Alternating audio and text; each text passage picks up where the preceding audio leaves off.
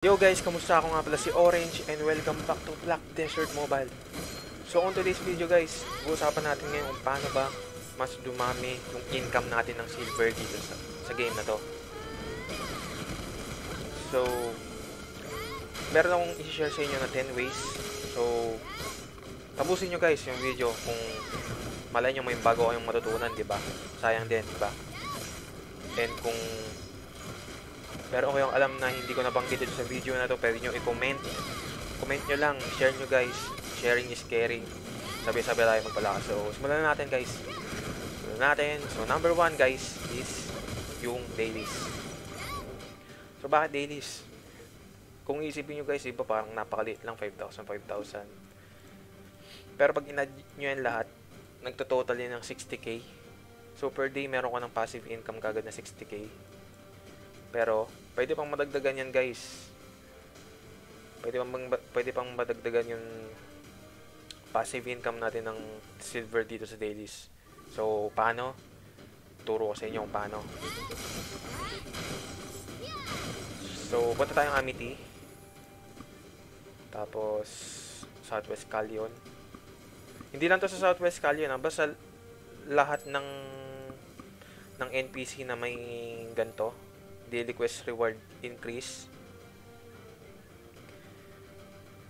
Eh, make sure na every town naka 75 sila.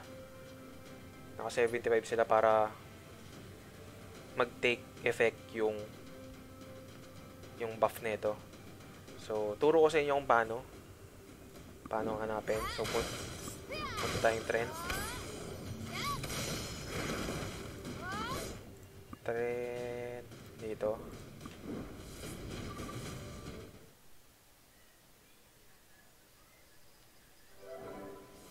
Tapos, hanapin lang natin yung pangalan ulit.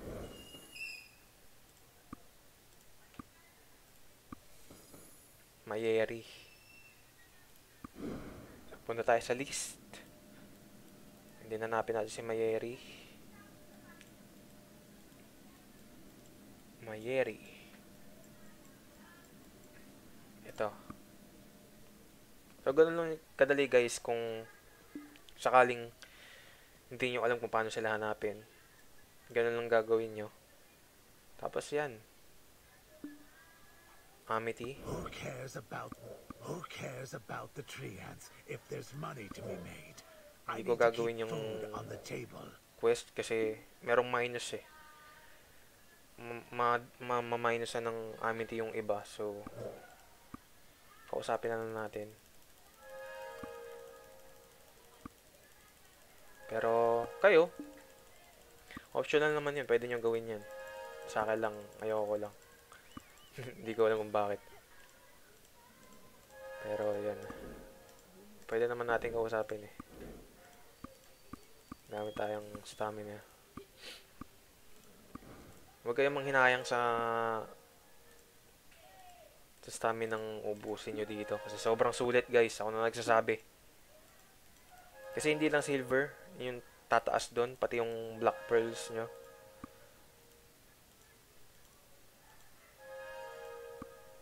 Ayan. So yun guys. Nag-reach na siya ng 76. So over to 75 na siya. So magte-take effect, effect na yun. Pero bukas nyo pa makikita yon yung epekto nun. Ang effect nun, mas dadami yung quest nyo. Yun. Mas dadami yung quest nyo. Ibig sabihin, mas maraming rewards. So, number 2 guys. Number 2 is dito sa ranch.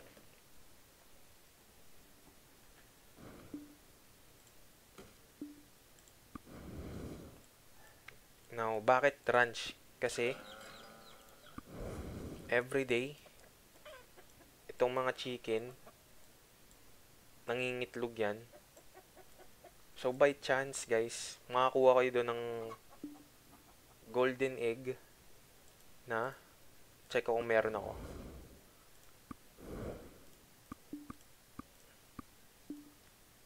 Ah, wala. Pero yun guys, may chance na makakakuha kayo ng golden egg dito na mabibenta nyo sa NPC yun ng 200k.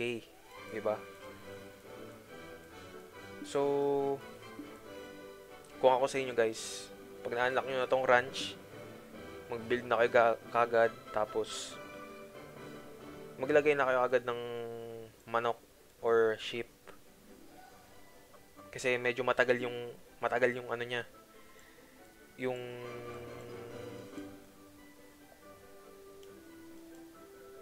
yung pag-produce niya ng egg sa chicken one day. Tapos dito sa sheep meron din to eh, meron din wool ata to. Wool naman ata dito sa sheep. Tapos, yung sa kanya yata, golden wool, kung di ako nagkakamali. Hindi ako sure guys ha, basta meron to. Meron din tong sheep. Yun yata, mabibenta mo ng 500k. Mga ganon. So, malaki. Kung ako sa inyo guys, mag-build na kayo na ranch. So, yun. So, number 3 is nodes. Nodes. Bakit nodes? Kasi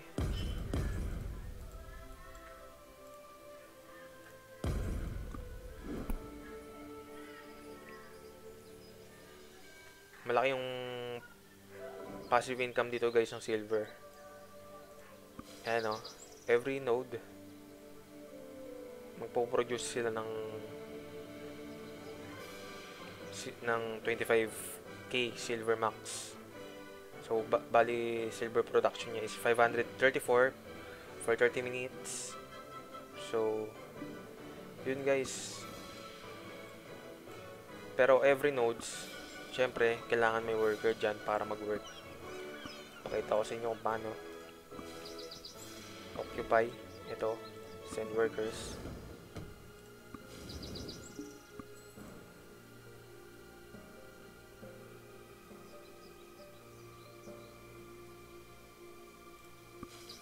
So, yan. Nagpo-produce na siya ng, sil- ng silver niyan. Passively. So, may passive income ka na naman na dagdag. Pero, hindi ko mara-recommend sa inyo to guys sa early part of the game kasi mas kailangan yung mga workers yung nag-gather ng resources. Instead na nakatambay lang sila dito walang ginagawa.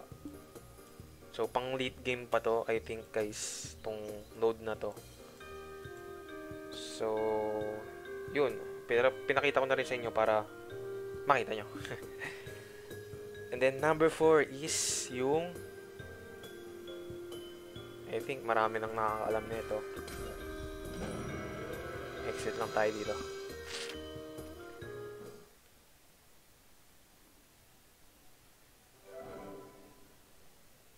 Number 4 is yung sa arena. So, bukod dito sa dailies na to, may na may silver kayong makukuha 5 times a day is meron din kayong makukuha dito sa achievements. So, pag na-reach nyo yung certain level niya, makakuha kayo ng ng silver. So, sa akin, search ko lang kung anong requirement sa akin.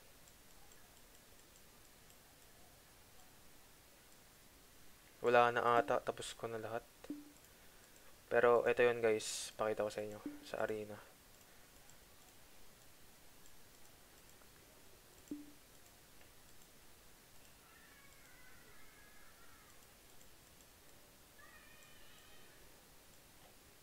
Sorry guys, medyo mabang scroll to ah. Pero gusto ko lang ipakita sa inyo.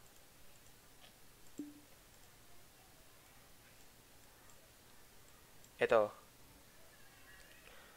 Once na ma-reach nyo yung certain level nyo sa arena, meron siyang level 10, 300k, level 20, 500k, level 30, 700k. So, malaking bagay, di ba guys? And then next, number 5 na tayo. Number 5 is yung boss rush. So, bakit boss rush? Kasi, per clear nyo dito guys, meron kayong silver. Silver na makukuha. Tapos, kung hindi nyo pa nakiklear yung yung difficult, difficulty dun nababa dito ayan o next reward nyo is silver 122k tapos meron dito guys meron ako ditong na natalo hindi ko alam kung sino dito basta dito lumaking pera ko eh naging 5 5M ata bigay nun or what. Basta dito guys.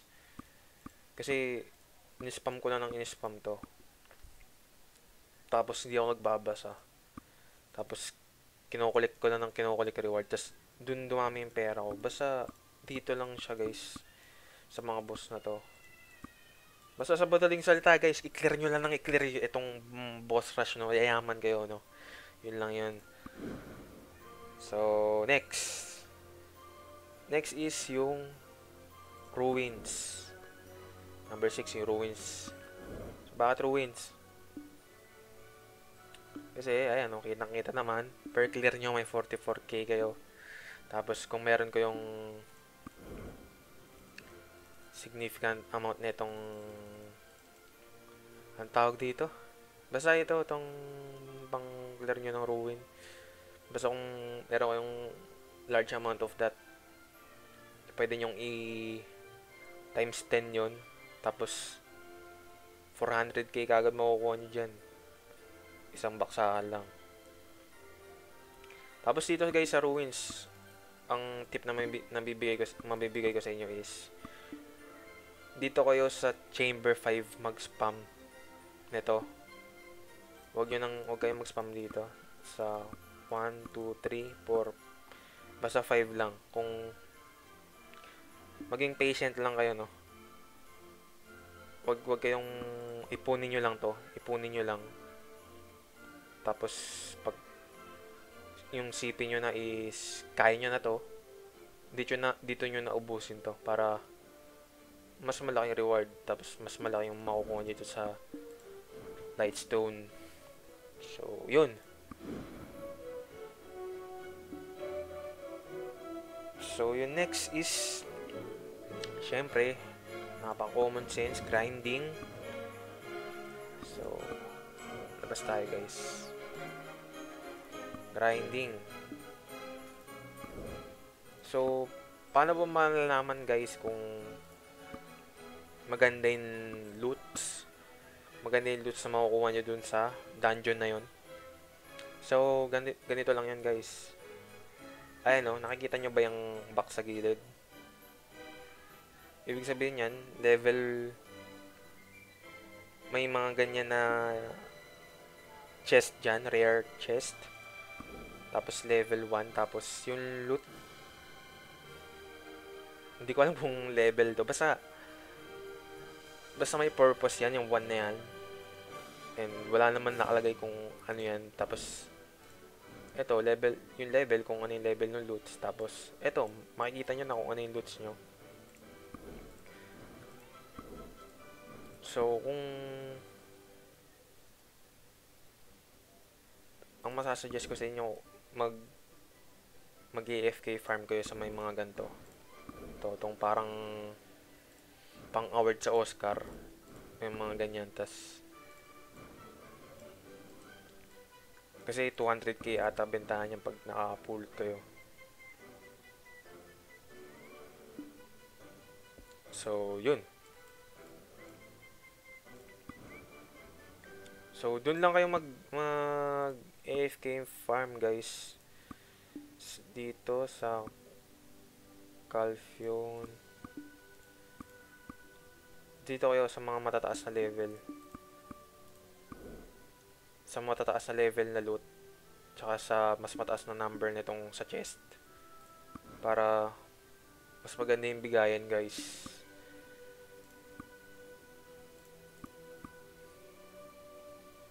alam alam ko yung chest is nagsisignify kung rare ewan ko kasi may kulay eh. Rare epic mga ganun. Basta ganun. Basta kung sa, sa mas mataas na number mas maganda. Yun na lang guys no? Tapos next is yung selling the junks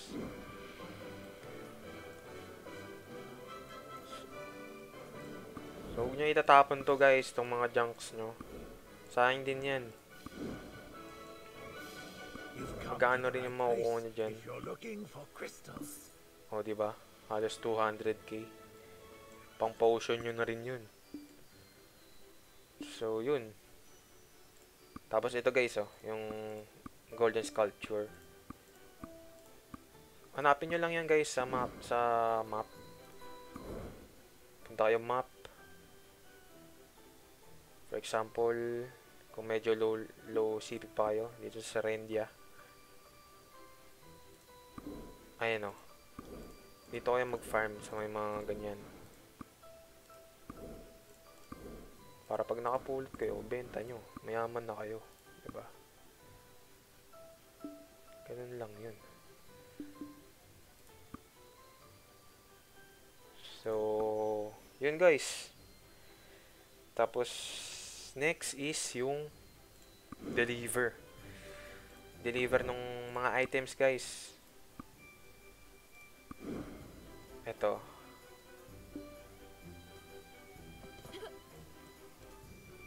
Malaking bagay siya para sa mga nagsisimula pa lang.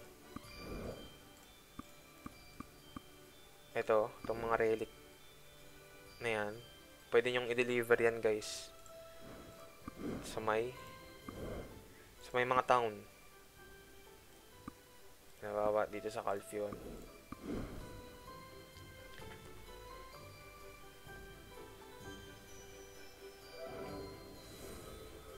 Calfion. Tapos, hanapin nyo lang to. Itong may ganyan na icon. Parang barya tapos storage, karton. Yan. Punta kayo sa kanya.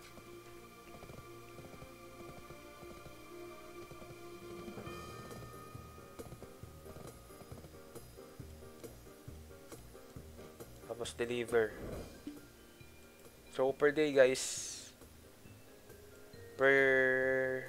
Ah, hindi, hindi pala per day. Basta may certain hours siya na nagre-reset siya. So, yung mga napupulot yung ganyan, huwag kayong tama rin na ibenta lang sa ah, kung sinong NPC. Basta i-deliver nyo sa kanya. Mas malaki makukuha nyo. Di ba? So, yan. Speaking of delivery, pwede rin kayo mag-deliver di sa sa mga ngingisda, sa mga mangingisda. Halos lahat ng town meron yan guys. So, hindi lang yan dito sa Calfion. So, dito.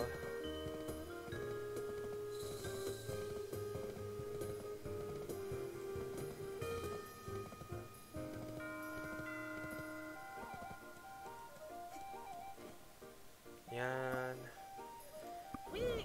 Tapos yan, oh. buy fish from all over the world. Kung masipag kayong mangisda, di ba? Pwede nyong ibenta dito. Ay, i-deliver sa kanya.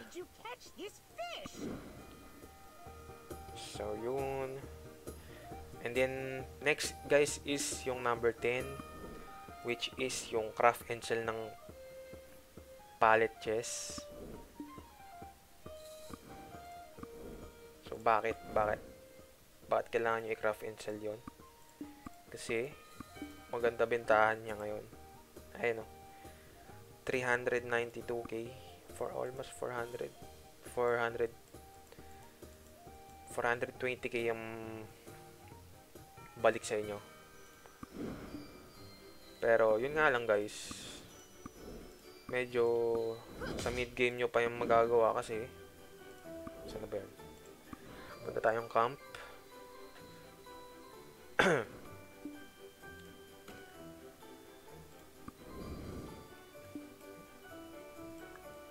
kasi pagka na-defeat nyo ng si Uraka, dun, dun nyo lang siya ma-unlock itong die workshop.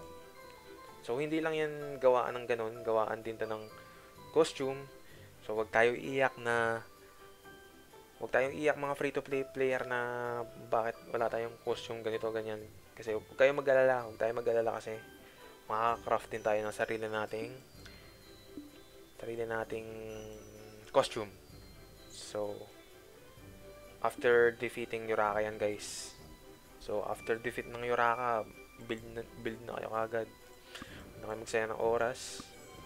So, I guess, yun lang lahat ng mga ways ko kung paano kayo magkakaroon ng mas maraming silver dito. And, kung meron kayong alam na iba pang ways guys na hindi ko na banggit dito, comment nyo lang guys.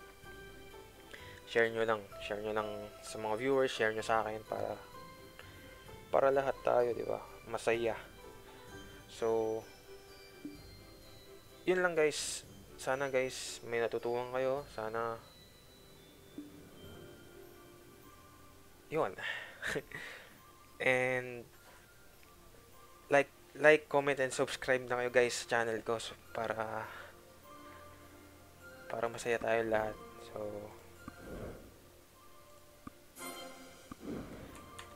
That's all guys and see you on my next video.